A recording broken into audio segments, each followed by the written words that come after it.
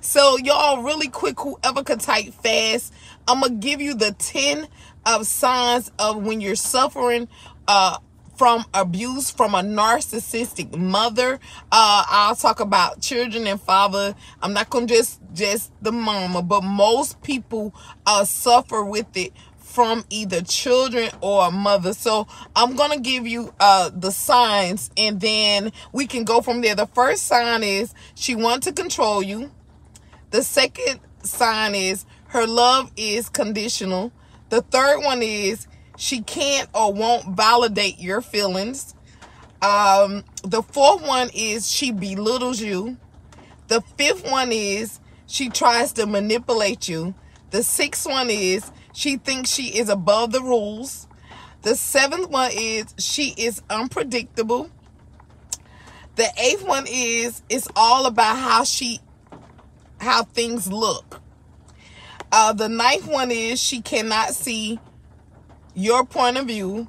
And the 10th one is she is emotionally volatile.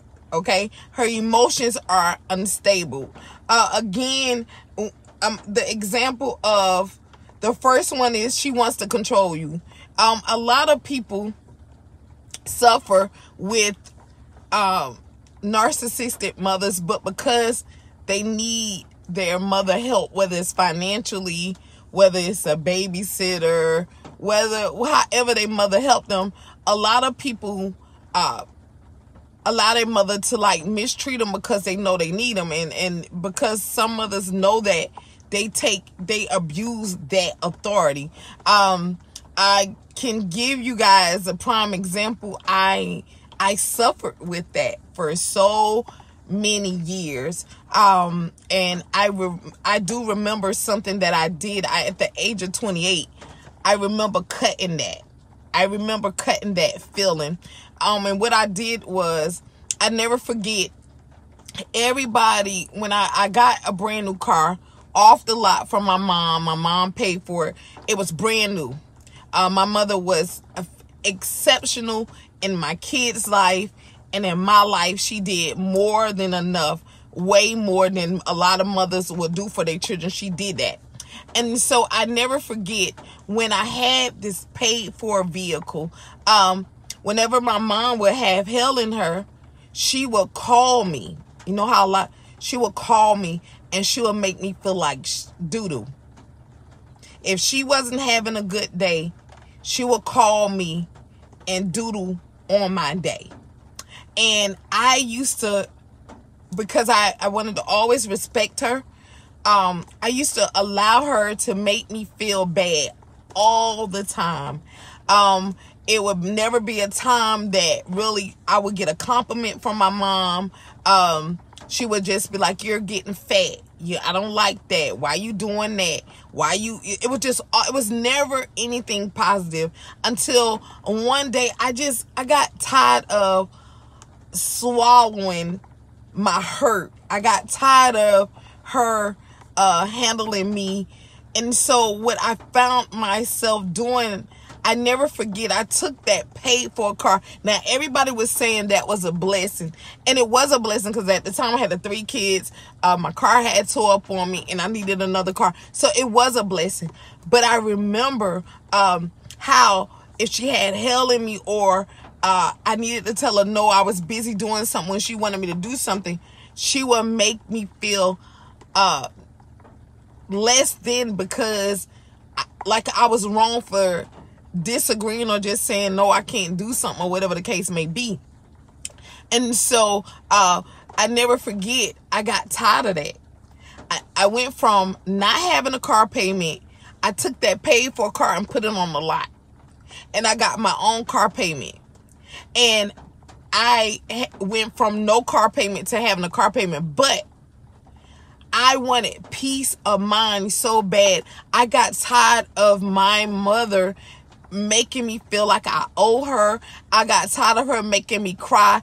I, I got tired of trying to just make her happy when the brokenness in her issue has nothing to do with me. And i understand that when a when any parent life is just out of control and they're not happy, they tend to uh, control their children. Um, when they don't really have a life and and and when they don't really have the happiness they desire they be very overbearing um, in their children life. And a lot of parents don't realize that they are like that. And so uh, oftentimes the the it starts to do this right here because the older the child get sometimes if you're not careful um, they become resentful and they become very angry because they can't put into words how you make them feel. And yes they need you. So uh, I knew that my mother played a great part of my life but yet she made me feel like doodle um she you know i i i never forget a man a product guy came and told me. He said you know what? You real joyful until your mother come around. And that was the light bulb. He said i don't know what it is but i think you need to figure it out. And so when he told me that, it made me start dissecting. And he was right. You know, uh, if she would come into my business, she didn't like that I went to church. She didn't like if I played church music. She didn't like if I played rap music. She didn't like if I uh, had blonde hair. She didn't like if you know what I'm saying? It, if, if, if, you know, my butt is my butt, like she'll be like, you're getting fat. You, you know, just file all negative stuff. But yet I would see her celebrate other young women. Like, she's so pretty to me. She's this, she's that, but never say that to me. And so I know a lot of mothers um that are like that. You know, you, you will celebrate others but don't celebrate yours because you're so busy worried about what it looked like. So many people will call me about my children, but they are my children. Understand? And so at the end of the day, um, I'm not gonna belittle them and I'm not going to try to control them because of the hand life dealt me. I don't, I, I, I, I don't know about a lot of mothers, but I understand it's some mothers hate that their children has gone further or have accomplished more than what they had. Instead of you uh, being their cheerleader, you will start acting like a hater. And a lot of parents are aware of that. Like I remember the time that I had to stop chasing. I'm proud of you. My parents, I don't really hear you're doing good. I'm proud of you. It would always be you'll show up to tell me where I went wrong or or to chastise me or to do this and to do that. But when, when it was time to celebrate me, you barely wanted to show up or, or, or you didn't want to show up because it was a celebration. Um, you will be looking forward to snatching my smile or to steal my joy versus to help me understand that. And so, uh, you know you, you just can't celebrate the accomplishments of your child and if you are a parent and you see that it's not too late to get it right because oftentimes behaviors are passed down. Understand? Uh, like I said, I come from family members, you know, they, you know, uh, a lot of people don't know how to say, I love you. Understand?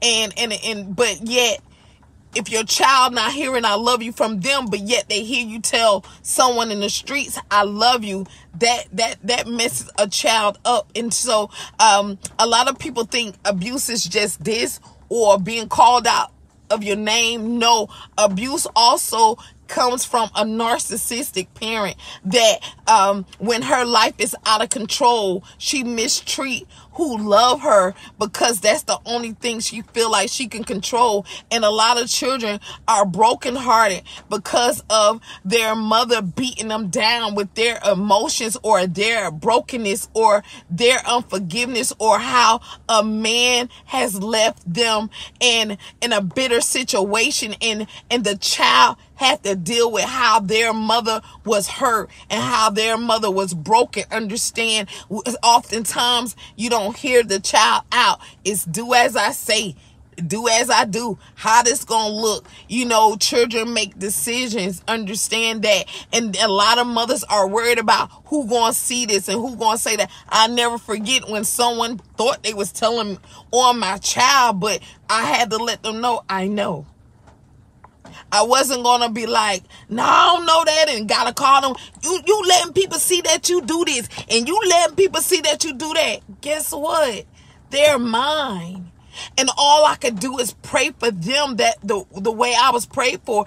A lot of times people worried about what they say and they, they would try to force their children to live a false identity because they don't like the real them. But we have to accept the real them and at least you know they're good, they're bad, they're ugly. Understand and thank God that they come to you and not them have to go to other people. You wonder why they don't tell you. You wonder why they don't come to you with their vulnerability. How do you respond to them? How do you treat them when they're coming to you with their nasty, with their struggles, with their strongholds, with the things understand um that's that's foreign to you, but they've been struggling with for a long time? Are you um trying to smother it because you're worried about who other people, who children you think is better than yours? So you you know you're ashamed. You can't walk in shame when it come to your children